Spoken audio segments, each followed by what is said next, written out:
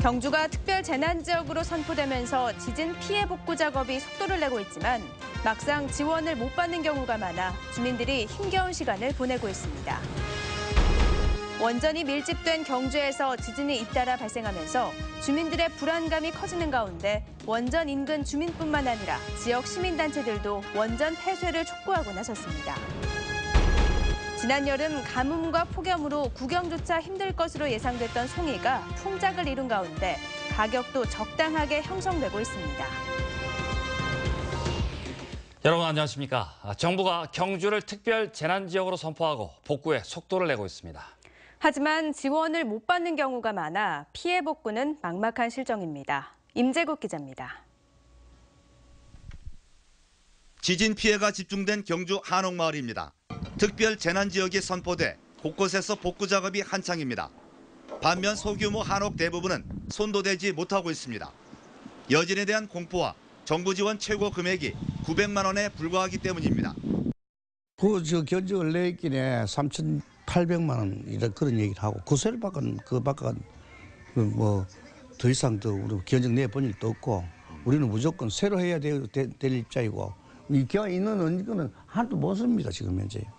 피해 조사 후 신속한 지원이 이루어지더라도 전문 인력 인건비와 기와 등 자재비를 포함해 하루 100만 원이 넘는 보수 비용은 큰 부담입니다. 크게 부서지면 아예 새로 하는데 조금씩 부서진 그런 집들도 적어도 몇백씩은 기본으로 들여야 되기 때문에 그런 집은 과연 서민들이 할 수 있느냐 그게 문제죠. 지진으로 큰 피해를 입은 경주 상인들도 속을 끓이고 있습니다. 현행법상 상가와 공장 등은 피해 보상을 받을 수 없어 자체 비용을 들여야 하기 때문입니다. 상가 같은 경우는 이제 전면 유리 같은 것들이 이제 파손 언론에 나왔고 파손됐는데 이런 부분들이 이제 자체적으로 보상을 해야 되고 지원을 해서 받으면 좋은데 지원이 안 되는 부분이 안타깝습니다. 경상북도와 경주시는 특별 재난지역 구속책으로 지진 복구 지원단을 구성했고 지진 피해 심리 지원단 인력을 확대하기로 했습니다. 또 지원 대상에서 제외되는 피해 시설물 복구에 지원을 늘리기로 했습니다. 어, 중앙정부의 피해 보상액은 그 피해 규모에 비해서는 아주 과소합니다. 그래서 우리 시로서는 우리 주민들이 빨리 복구에 할수 있도록 하기 위해서 기와장 기증받은 기와장을 공급을 하고 중장비를 동원해서 빨리 복구가 될 수 있도록 하겠습니다. 여진 불안 속에 막대한 복구 비용 부담으로 시민들은 여전히 힘겨운 시간을 보내고 있습니다. MBC 뉴스 임재욱입니다. 김관용 경북도지사가 오늘 오전 경주 특별 재난지역 선포에 대한 입장을 발표하면서 정부의 실질적인 지원이 뒤따라야 한다고 강조했습니다. 김 지사는 또 경주 지진의 조속한 피해 지원을 위해 9.12 지진 피해 복구 특별 지원단을 경주에 상주시켜 피해 복구 지원 활동을 펼치겠다고 밝혔습니다. 교육부 장관을 직접 만나 가을 수학 여행이 원활히 진행될 수 있도록 요청하는 한편 내일 밤에는 진앙지인 경주 내남의 한 경로당에서 하룻밤을 묵을 계획이라고 덧붙였습니다. 경주 지역에 36시간 만에 다시 여진이 일어났습니다. 기상청은 오늘 저녁 6시 21분쯤 경주시 남남 서쪽 9km 지역에 규모 2.1의 지진이 발생했다고 밝혔습니다. 기상청은 이 지진도 12일 발생한 규모 5.8의 여진이라고 밝혔고 경주에는 이번까지 모두 425차례 여진이 일어났습니다. 원전이 밀집된 경주에서 지진이 잇따라 발생하면서 주민들의 불안감이 좀처럼 잦아들지 않고 있습니다. 여진이 지속될 것이라는 전망이 나온 가운데 원전 인근 주민뿐만 아니라 지역 시민단체들도 원전 폐쇄를 촉구하고 나섰습니다. 장미쁨 기자가 보도합니다. 원전 6기가 운영 중인 경주시 양남면 나아리. 울산 북구 윤종호 국회의원과 환경운동연합이 한수원 자료를 분석한 발표에 따르면 지난 12일 경주 지진으로 월성원전 4기가 수동 정지된 직후 사흘간 삼중수소 농도가 3배에서 최대 18배까지 치솟았습니다. 삼중수소는 암과 기형아 출산을 유발할 수 있는 방사능 물질이기 때문에 주민들의 불안감은 더 높아졌습니다. 이 동네 삼중수소 유출 많이 돼 갖고 그래 우리 돈에 데모도 몇, 몇 년을 하고 그 아이 들이 끝도 안적 있어요. 더구나 원전 인근의 울산 단층 역시 향후 강진이 발생할 수 있는 활성 단층이라는 4년 전 한국 지질자원연구원 조사 결과도 주민들에겐 큰 충격입니다. 앞으로도 크고 작은 지진이 계속될 것으로 예상되면서 주민들의 불안감도 점차 고조되고 있습니다. 불안감은 경주 시가지로도 확산되고 있습니다. 저희도 진짜 주말에는 이제 짐 싸서 다른 데 올려 가려고 지금 준비하고 있어요.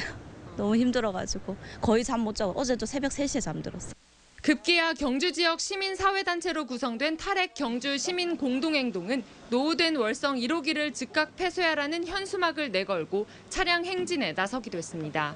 저 자신부터 어, 이때까지 생각해보지 못했던 이런 문제에 대해서 다시 한번 더 알아보고 어, 더 깊이 생각해봐야 하지 않겠는가 그렇게 생각을 하고 나왔습니다.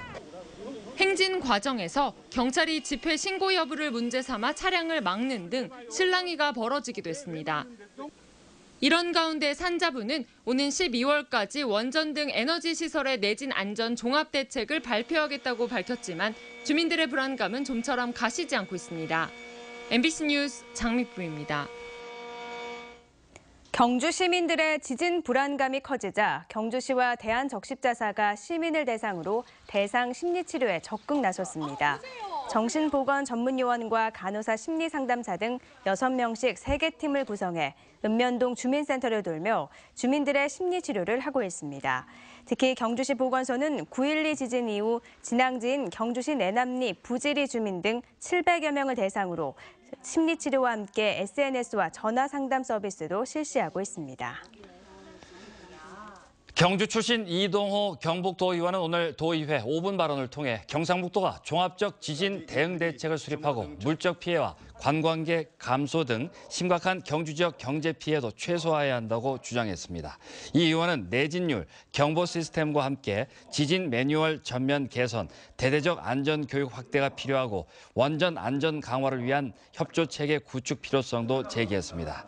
안동 김명호 도의원은 일본 정부의 지방 소멸 위기 대응처럼 경상북도가 이 이슈를 국가 차원의 담론으로 견인해야 한다며 신생아 출생과 인구 증감 전광판 지도를 도청 로비에 설치하고 인구 정책관실 신설 등을 제안했습니다. 네,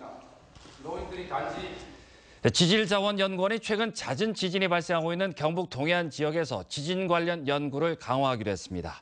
지질자원연구원 지진연구센터 조현무 박사 등 국내 지진 전문가들은 오늘 포항 지질자원 실증연구센터를 방문한 이강덕 포항시장을 만나 지진 발생 원인과 안전 대책 등을 논의하고 우리 지역에 지진 전문 연구기관이 필요하다는데 공감했습니다.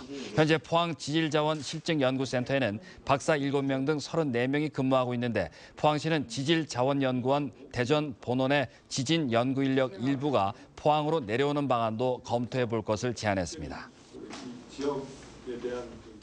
일본에서 내진 공학을 전공한 전 경주대 황성춘 교수가 오늘 선도동 주민센터에서 지진 바로 알기를 주제로 강연을 했습니다. 황전 교수는 강연에서 경주는 단층 구조가 복잡한 데다 단층들이 서로 연관돼 있어 최근 발생한 지진과 비슷한 규모의 지진은 발생할 수 있지만 더 큰 지진 가능성은 희박하다고 설명하고 이에 대한 학술적인 근거를 제시했습니다. 황전 교수는 경주에서 강한 지진이 발생한 후 지진과 관련된 각종 유언 비어가 난무해 시민들이 불안에 떨고 있다며 지진에 대해 바로 알고 대처할 수 있도록 강연을 마련했다고 밝혔습니다. 오늘 정부의 성과 연봉제 저지를 위한 금융노조의 총파업으로 경북 지역 은행 업무 일부가 차질을 빚었습니다. 지역 농협을 제외한 북부 지역 시중은행 노조원들은 오늘 대부분 파업에 동참해 서울 월드컵 경기장에서 열리는 총파업 출정식에 참가했습니다. 금융기관들은 자동 입출 금기와 인터넷 등은 정상 운영된다며 고객들의 이용을 부탁하고 있습니다. 지난 여름 가뭄과 폭염으로 구경조차 힘들 것으로 예상됐던 송이가 풍작을 이루고 있습니다. 아, 8월 말부터 비가 자주 내렸고 기온이 서늘하기 때문인데 가격도 적당하게 형성되고 있습니다. 김기영 기자가 취재했습니다. 가을 산이 내어줄 수 있는 최고의 선물 송이. 자식에게도 나는 위치를 알려주지 않는다는 귀하디 귀한 맛의 진객입니다. 산림조합 공판장에는 팔러 나온 송이 꾸러미가 줄을 이었습니다. 일주일 전부터 조금씩 나던 송이는 이달 말까지 절정을 이룰 전망입니다. 지난 여름 폭염 때만 해도 송이 수확을 단념했던 농민들의 얼굴이 환해졌습니다. 기대를 안 했는데 지금 또 비가 오고 이래서 좀 날씨도 좋고 이래서 좀 평작지는 안 되겠나 싶은데요. 9월 22일 기준 1등품 1kg에 24만 원대로 지난해보다 10만 원 정도 가격이 내렸습니다. 송이 주산지인 영덕과 울진에는 개인 수집 판매상까지 모여들어 반짝 시장이 형성됐습니다. 소비자들도 우리가 조합이 오면은 선별한 물건을 이제 정량, 정품, 정액 믿고 안전하게 팔 수 있는 것을 산림조합입니다. 강원도와 경북 북부 시군들도 저마다 송이 주산지임을 내세우지만 전국을 다니며 송이를 매입하고 있는 상인들은 생산량만큼은 울진과 영덕이 단연 앞선다고 인정합니다. 영덕하고 울진의 생산량이 전국 송이 생산량의 한 60% 정도 점유를 하고 있습니다. 그리고 물건도 좋고 전국 최고 생산지 울진에서는 10월 1일부터 3일까지 엑스포 공원 일원에서 금강송이 빚은 천년의 향이라는 주제로 제14회 울진 금강송 송이 축제를 엽니다. MBC 뉴스 김기영입니다. 경상북도와 포항시는 오늘 포항시청 대회의실에서 포항의 신성장 동력이 될 타이타늄 산업 저변 확대를 위한 포럼을 열었습니다. 이번 포럼에서는 타이타늄 산업 전문가인 이용태 박사가 타이타늄 산업 여건과 향후 과제에 대해 포항산업과학연구원 이수찬 상용화기술센터장이 타이타늄 비전과 산업화 전략에 대해 주제 발표를 한 뒤 다섯 명의 패널이 토론을 벌였습니다. 지난 8월 타이타늄 산업 육성을 위해 MOU를 체결한 경상북도와 포항시, 포스코는 블루밸리 국가산업단지를 중심으로 포항 지역을 타이타늄 산업의 글로벌 허브로 조성할 계획입니다.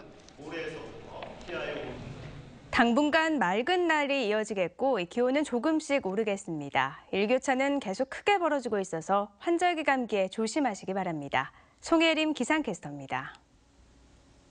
맑은 날씨에 햇빛이 내리쬐면서 어제보다 기온이 조금 올랐습니다. 내일은 더 올라서 포항이 25도가 예상되는데요.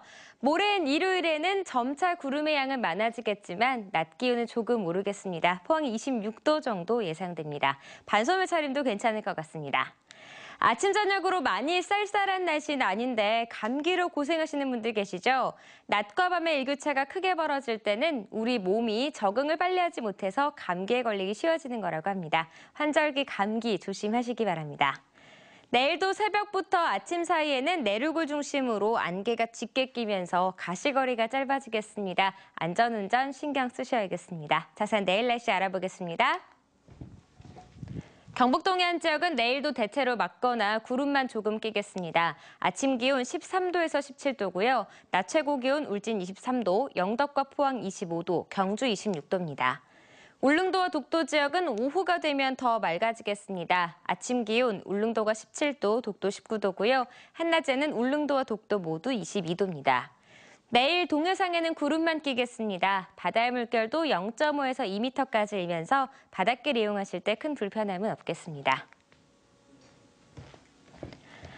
한동안 맑은 날이 이어지겠고요. 수요일에는 기압골의 영향으로 한 차례 비가 오겠습니다. 날씨였습니다. 2016 경주 세계 차 문화축제가 오늘 경주 하이코에서 개막돼 내일까지 계속됩니다. 신라시대 차 문화를 현대적으로 계승 발전시키기 위해 마련된 오늘 행사에선 한국의 차 문화 방향 등에 대한 강연에 이어 한국과 줄구, 일본의 차 시연이 펼쳐집니다. 주말인 내일은 보문호 둘레길에서 일반인들이 직접 차를 마시며 문화를 체험하는 차짜리 행사가 열릴 예정입니다.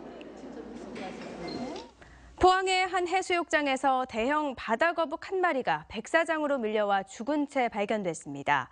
죽은 거북이는 몸 길이 약 1m 50cm, 무게 약 100kg으로 운동을 하던 시민이 어제 저녁 8시쯤 발견했으며 붉은 바다 거북으로 추정됩니다.